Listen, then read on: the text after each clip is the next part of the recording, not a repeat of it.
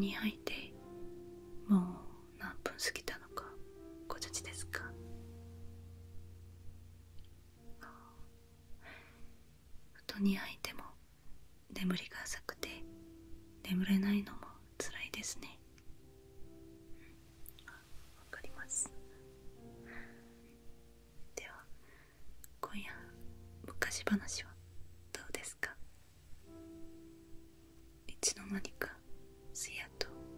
るように私が寝かしてあげたいです。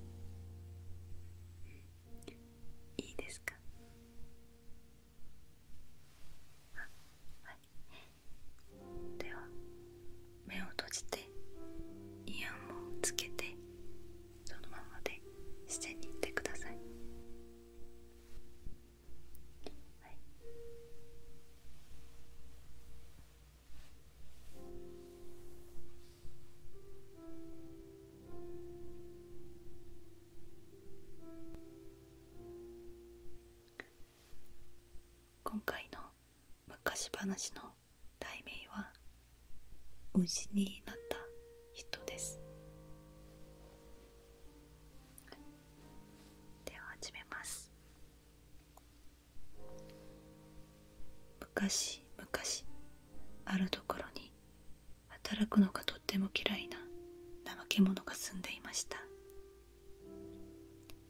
どれほど働くのか30歳を過ぎるまで鎌一つ持ったことがなく教育を一つかついたことがありませんでした。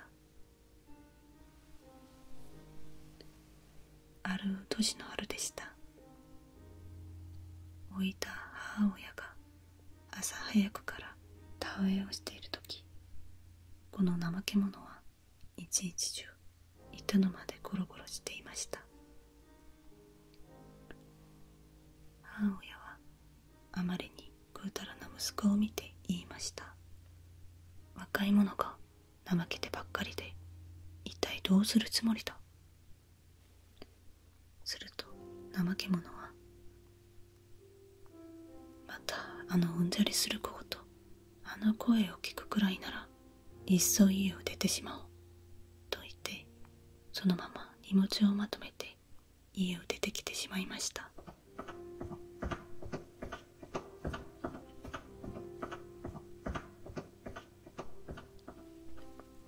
怠け者がしばらく行くと峠道が現れました。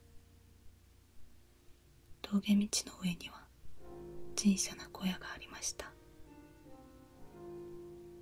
小さな小屋の前では見知らぬ老人が何かを作っていました。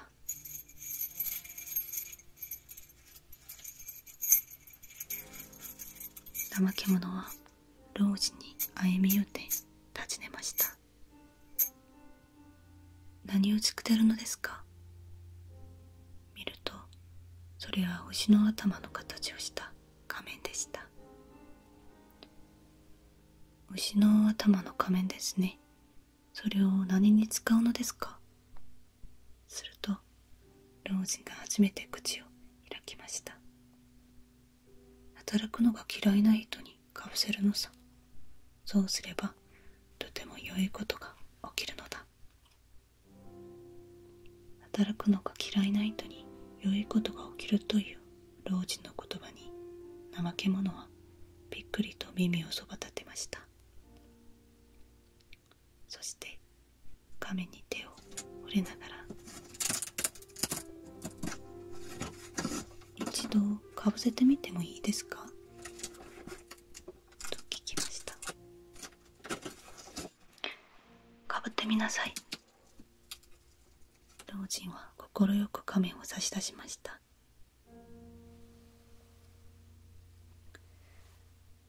怠け者は老人が差し出した仮面を頭にかぶって言いました。ぴったりです。それを聞いて老人が言いました。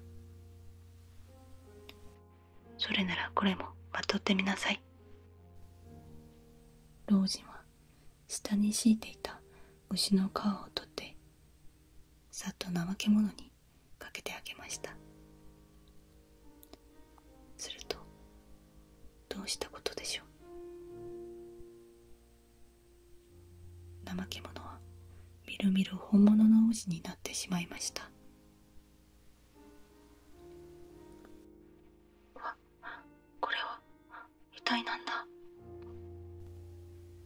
獣は慌てて体をゆすって大声を上げました。ところが不思議なことに少年が叫び声を上げるとその声は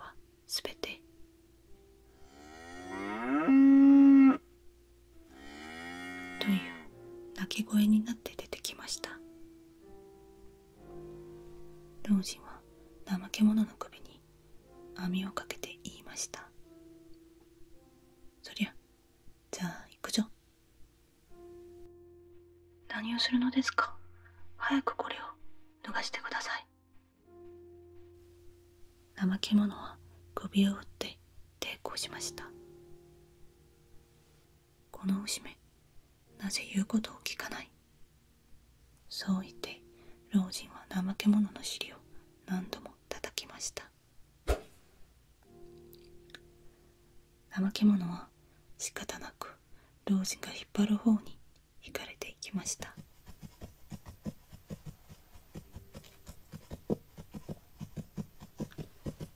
怠け者は市場に引かれていきました。人々が集まってきて怠け者の背中を叩いてみたり口の中を調べてみたりしました。怠け者は激しく頭を振り回して大声を上げました。何をするのですか？私は牛ではなくて人ですよ人。しかし怠け者の叫び声は人々にはもうもうという鳴き声にしか聞こえませんでした。一人の農夫が老人に声をかけました。荒々しい牛だが元気があっていい。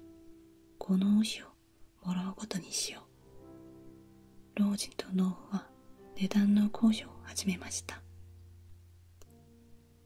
値段の交渉が終わると老人は怠け者を農夫に引き渡しながら言いました。この牛は大根を食べると死んでしまうので絶対に大根畑には連れて行かないでください。脳は川倒しもいるものだなと思って怠け者を引っ張って家に帰っていきました。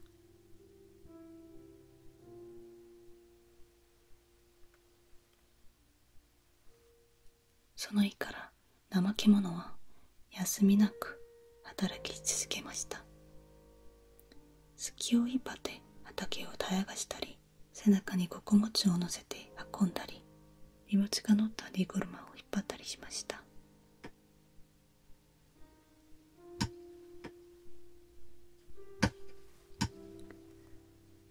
そのようにして朝早くから日が暮れるまで少しも休まずに働かされました。怠け者はあまりにつらくて叫びました。もしもし私は牛ではなくて人ですよ。人。しかし何を叫んでももうもうという牛の鳴き声にしか聞こえないのはこの牛め仕事の最中にどうしたのだ。と言って手綱でしっきりに怠け者を叩きました。怠け者の一目を割れて首と背中にはあざができました。怠け者はこれまで仕事もしないでブラブラしていたことを心から後悔しましたが今とな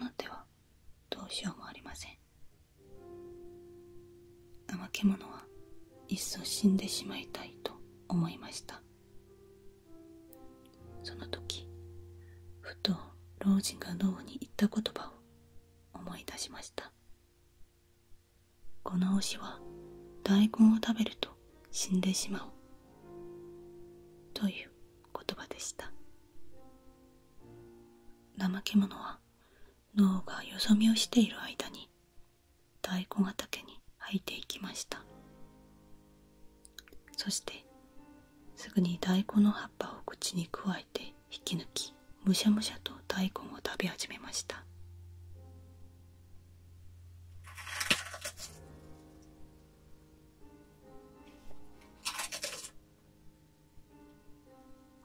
あれまあこの牛は大根を食べると死んでしまうというのにこれを見た脳がすぐ牛を追いかけてきて呆然と立ち尽くしたまま大根を食べている牛をぼんやりと見つめました。大根を食べ終わった怠け者は早く死ぬことばかりを考えました。ところがどうしたことでしょう。突然体がムチムチしてきたかと思の仮面と皮がどんどん抜けていくではありませんか？あなた誰ですか？人間に戻った怠け者を見て脳は驚きの声を上げました。怠け者も自分の姿に驚きました。怠け者はこれまでの出来事を脳に話しました。脳は怠け者の話にしっきりにうなずきました。人間の姿に戻った怠け者は家に帰っていきました。家に帰る途中怠け者は老人が牛の仮面を作っていた小さな声を探してみました。しかし小さな小屋は跡形もなく消え去っておりそこには怠け者が家から持ってきた荷物だけがポツンと置かれていました。その後怠け者は働き者になり母親の面倒をよく見て暮らしていたそう。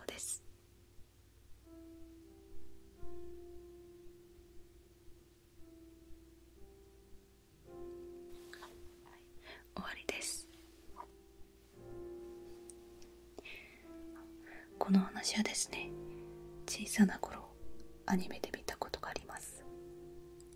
はい。いつも勉強に怠けていた主人公が本物の牛になったら勉強もしないし難しいことは一切しないでいいなと思って偶然にあったある老人が渡った牛の仮面や皮をまとって本物の牛になるという話でしたはいここまでは同じですここまでは同じですがあと自分の考え方とか生き方を暗唱して顧みて気づいた瞬間が夢だった。それは全部夢だったというのは違いがありますね。はい。私も久しぶりに昔話読んで小さな